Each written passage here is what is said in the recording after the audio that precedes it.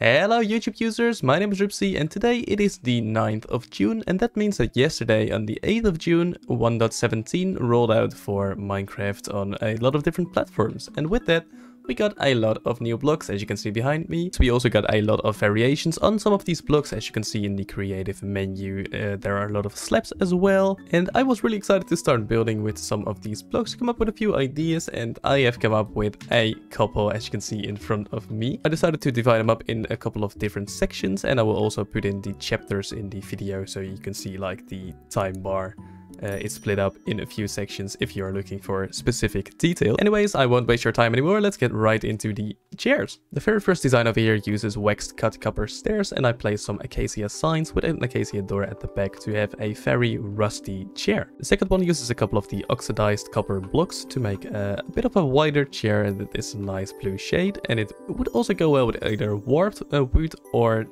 dark prismarine blocks. For the next one we have a bit of a barber, maybe bar chair uh, that uses a lightning rod at the bottom. Then I used a uh, oxidized waxed cut copper slab, which is a mouthful to pronounce, with a couple of uh, warped signs at the back. Over here I used the calcite blocks with a couple of polished diorite uh, stairs and slabs to make a nice uh, sofa. This one is a bit weird and you can see uh, through it a little bit so it would work better with a wall on the back. But this is a golden chair with a brown seat over here and just a little yellow banner to kind of uh, hide all of this. The next one is very interesting in my opinion. It is a natural chair that uses one of the azaleas with a trapdoor on the back and a sign over there. And I think this one would work really well in like a picnic setting or something like that. Then over here I finally found a way to make purple work a little bit in my opinion. I made a amethyst and purple throne over here. Also using some end rods and uh, the white candles for a bit of variation and detail on the back over there. Uh, but yeah, I think this looks very majestic for maybe a fantasy style build. And I'm actually very proud of this one. I made a hanging deep slate and blackstone uh, chair and I think I did a pretty good job on making it look quite round over here. Also a little red carpet for a nice seat to rest your butt on. Yeah, of course, these stairs have a lot of variations. You could use different blocks, but I hope you get some inspiration from this. Going a bit further to the tables, we have a nice copper table. Just use some upside down stairs with a slab in the middle. And I just put a cake with a candle on top of that. I don't believe you can do this in Bedrock Edition, but on Java and other platforms it will work. And also over here, I place one of the glowing berries uh, into a pressure plate. And you, the way you do this is very simple. I'll take a look at this. Normally you don't want to stand on the pressure plate because it will stay like this and look kind of glitched. But it is basically just a, uh, in this case, it is a glowing item frame. But you can use a regular item frame and just use a birch trap, uh, not a trapdoor, a birch pressure plate over here, and it makes it look like it is laying on top of a little plate. Next one is a very simple square table that uses the deep slate tile slabs and also a deep slate tile wall. Then another natural table, I just used two of the flowering azaleas, put them next to each other to make a little table, and this even looks like a small tablecloth that is laid on top of it. Going over to the first kitchen design, and actually also the last kitchen design, but that doesn't really matter. I used the uh, dripstone blocks as a nice cabinet color and also another detail that I put into here is uh, actually this deep slate tile block over here. That makes it look like uh, a little area that you can spatter your food against instead of having it on the wall. But I also made this little furnace over here with a glowing uh, item frame and a black glass pane in it. And it actually looks like the oven is uh, on and maybe you're preheating your chicken or something for dinner tonight. I thought that one looked pretty cool. Over here we have a small kitchen island design, uh, just using a little cauldron with a lever next to it for a nice sink. A couple of candles over here for some more decoration and also a brewing stand. This one also adds for a couple of inspirational bits. First of all, these little bar stools over here with the moss carpets and the lightning rods. I think they look very cute.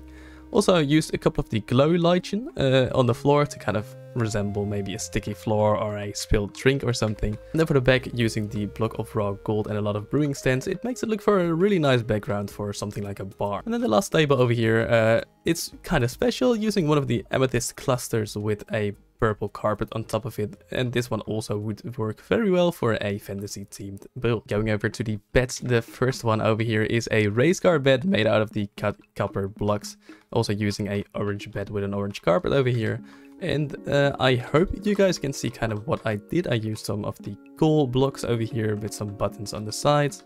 A uh, lot of stairs over here going like that. Bed over here with a carpet on top of that bed. Then a full copper block. And then just slabs on top of the coal blocks. Upside down stairs against those slabs with a slab in the middle. So I hope that makes sense. Uh, and I think this looks really cool. It might look a little bit better with just the regular quartz and stuff, but I think this one is also very cool and a nice variation on the regular race car bed. Then I decided to make a very fantasy-esque uh, canopy style bed uh, using a lot of the amethyst blocks, uh, crimson wood, a couple of diorite walls and also the hanging root on top over there to kind of, uh, I don't know, resemble a curtain or something. And then on top of it, it's just crimson slabs with some purple carpet. But also one very cute detail of this is because the amethyst blocks make a nice sound when you walk or place or break them. So it makes a very cute sound. Over here I have a nice bedroom design for someone who really likes to flex the amount of gold they have. Uh, using the deep slate ores at the bottom and the top as a nice lining for your walls with some deep slate on the walls itself. And then uh, these blocks are actually beehives. Or is it? Yeah, they are beehives. The top of them looks very nice, in my opinion. And just with a yellow bed with some gold surrounding it, it thinks, I think it looks like a very nice golden bed.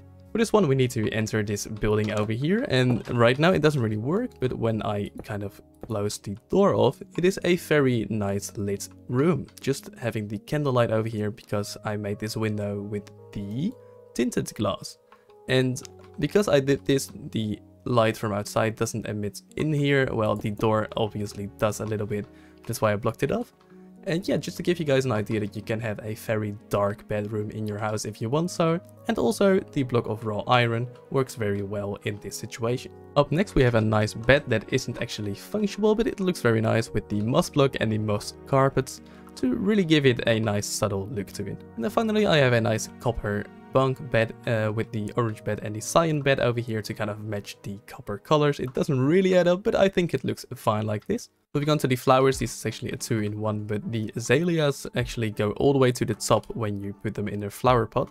And that means that the chains really connect well to the top of this block. Actually, anything would connect well to the top uh, because it is kind of like a full block like this but that makes it look like they are hanging from somewhere and it can actually look very cool like this. And I have a little trick with the, what is it called again, Spore Blossom, because uh, normally the inside of this block is actually yellow, but the uh, particles, they are actually green. So I thought maybe it makes a little bit more sense that the inside would be green. And the way that I did this is very simple. I placed a item frame with a slime ball inside of it. And then when you place the Spore Blossom to the side of this block, it will actually replace the inside with the nice green. Next up, I made a very nice tree using the flowering azalea leaves and the regular azalea leaves, also with a couple of the glow lichen to give it uh, a bit of variation. And I put it on top of an acacia fence because I think the orange complements the pink very well. This is kind of a 3-in-1, but the flower pot looks very nice on top of a lightning rod in my opinion. It connects very nicely, so you can just put a regular flower in here. Uh, one of these plants that uses a bamboo piece with a leaf on top of it but also the regular azalea with a moss block on top of it makes it look like a, kind of a hedge or something. Next up we have a nice dirt bed, uh, making use of the rooted dirt, uh, because I think this color goes very well with the granite that is next to it. This way you can mix in some coarse dirt, rooted dirt and granite for a really nice natural path. And then finally I have this very subtle change in the grass and moss to make it look like the lawn is mown and uh, normally we would use something like green wool to resemble this, but I think this makes it a little bit more subtle and it looks very nice in my opinion. Then coming to the miscellaneous category, I made a small little plane and I think it turned out really nicely. I actually took some inspiration from a plane that Fwhip built uh, a, a little while back, but I made use of the lightning rods to kind of make the propeller over here and also the kind of connecting bits uh, onto the wings over here. And I think it turned out really, really nicely actually. The next idea over here is probably an idea that most of us had once we saw that the candles could float, and that is the Great Hall of Hogwarts. I think it turned out really nicely. I did a kind of a miniature version over here. And then also as a bonus detail, I made use of the tinted glass again over here, with just some glass panes connected up against it. uh, to kind of make the room a bit darker so that the light really comes from all of the candles over here. Then I have a little cool cave or maybe a pathway inside of a cave design, just using the dripstones connecting them from top to bottom. And I think this actually looks quite nice with these supporting pillars over here. And I just made some uh, lanterns at the back, kind of hidden behind the pillars, but not totally because, of course, you can't really predict the exact point where the pillar is going to be. And then finally over here I decided to make a little pond using as much as of the gardening stuff that we got in 1.17 as possible and I think it looks really really cute. A couple of the rooted dirt for some extra detail in the floor, a couple of moss and moss carpets itself as well. Just all of the new cute pinkish hue and uh, a lot of the new greens complement each other so so well. And I just love the idea that we can place stuff like this in the real world right now. It makes it look uh, a lot more overgrown and I just love the look of that. Uh, anyways, once we go in here, you can see the axolotls, of course, their pink complements the pink of the flowers and stuff as well, which is really, really cool. And then this uh, little water lily over here, just using four lily pads, a crimson trapdoor inside of the water with one of the medium amethyst buds on top of it. I think that looks very cute as well, and it's a nice detail you guys can use in your uh, pond if you want that as well. And then also for the large dripleaves, if I can do this in one try, you can actually go on top of there. So you can maybe, if you put this in front of a cave or something, make a cool entrance like that. And of course, they will flip up eventually. Also, the last thing over here, I made a uh, lightning rod holding up this tree and that, that looks very cool as well. With a spore blossom at the back hidden over here because the pink doesn't really give it away too much, but you get the nice green particles anyway. I really hope you guys enjoyed this video and I hope to see you guys in the next one. Uh, make sure to use as much of these details as you want. And of course, let me know if you do, let me know which one you liked, let me know which one you didn't really like, because I love to hear your feedback and I read every single comment. My name is Ruubzy and I'm really trying to zoom in on my face, but I am not able to use Optifine, so I think this will do as well. Uh, make sure to leave a like if you like this video, uh, subscribe if you haven't already, and I'll see you guys in the next video, hopefully. Take care and goodbye!